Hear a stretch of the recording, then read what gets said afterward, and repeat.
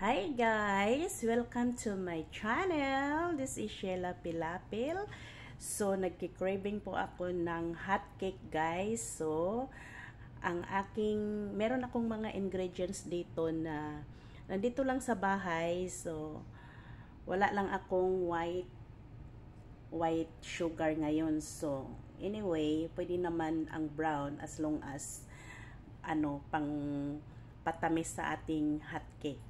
So, meron po tayong ditong flour. So, actually, I'm using the cake flour pero kasi wala akong all-purpose. So, you can use any kind of uh, flour, guys, for baking. Ayan. So, meron tayong 1 4 cup here of water and then 1 egg. Then, we have cooking oil but I'm using the olive oil, guys, kasi ano, uh, yun yung open sa amin ngayon na available na cooking oil. And then, so meron tayong star margarine here for toppings later. And then, we have uh, carnation evap. So, you can use any kind of evaporate evaporate na ano, na ang tawag niyan, milk or fresh milk. So, ayan. So, meron tayong 1 tablespoon here of baking powder. So, ito lahat guys is hindi ko na kailangan pumunta pa ng market or bumili. Ito lahat is dito na sa bahay namin. So, since na nagkikraving kami ng hotcake ng aking maring, so, gagawa tayo ng kung anong meron dito.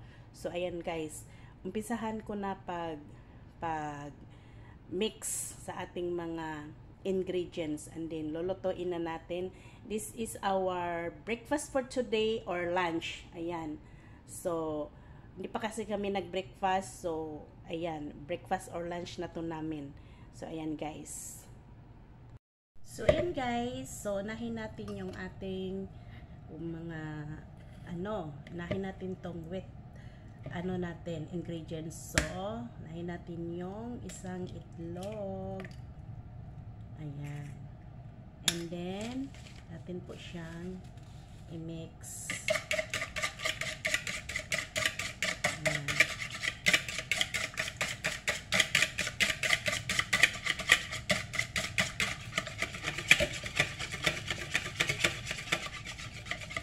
Next is ating cooking oil. Ayan. So anyway, kahit alin dyan ang uunahin mo, as long as ma-mix natin ng mabuti ang ating ingredients.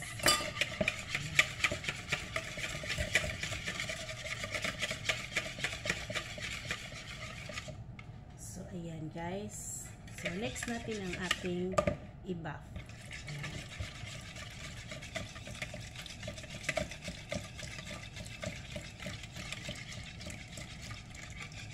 So, actually guys, you can use any kind of ibak or fresh milk.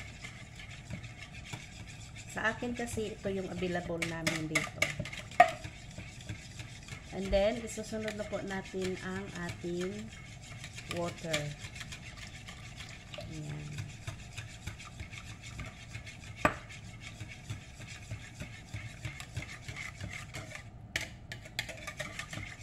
And of course, next po natin ang ating 6 tablespoon of brown sugar because ito lang yung aming available dito. So, wala kaming white. So, next time, mag-stock mag, mag ako ng white para kung meron akong naisipang lutuin na kailangan ang white. So, meron akong ano, ready na white sugar.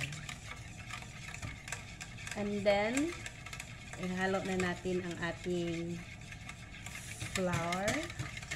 Ayan.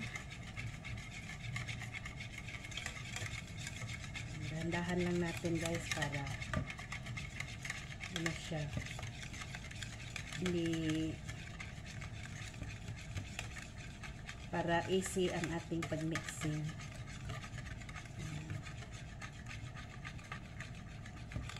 So, kung meron kayong mga ganito sa bahay nyo guys, meron kayong flour, meron kayong mantika, meron kayong itlog, baking powder, meron kayong fresh milk, sugar, any kind of sugar as long as sweet yung ating ano.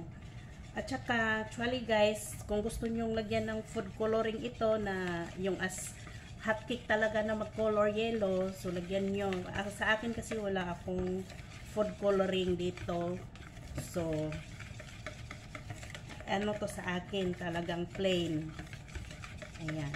As long as yung lasa niya is hot cake guys, so, fights na yan, di ba? So, ilagay na natin ngayon ang ating baking powder. Ayan.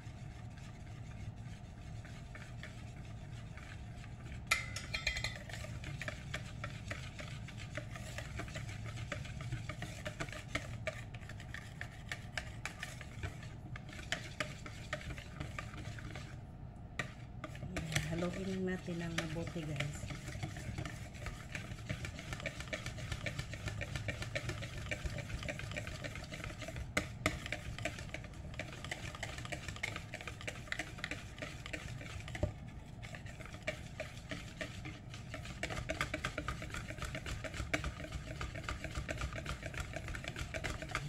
haluin lang natin.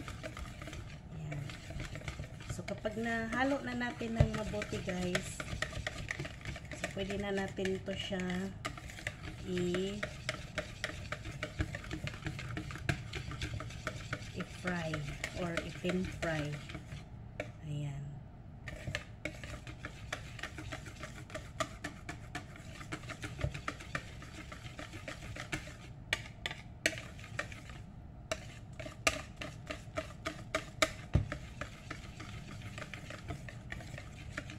Ayan guys.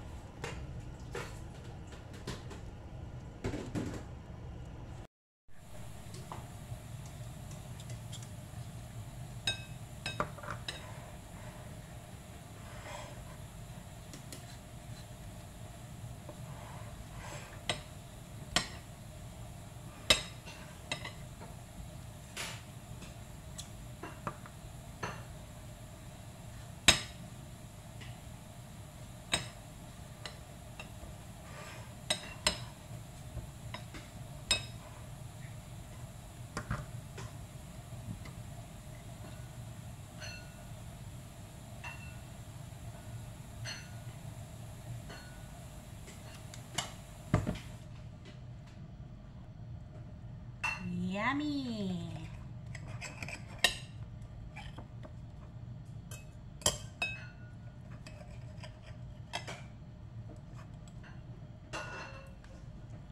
Mmm. Masarap guys.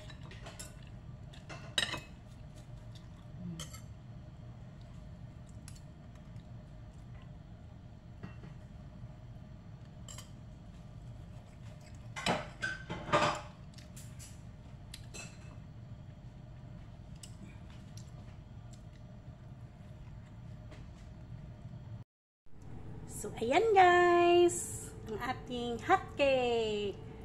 So, lagyan nyo na lang yan ng star margarine dyan sa toppings. At saka sugar.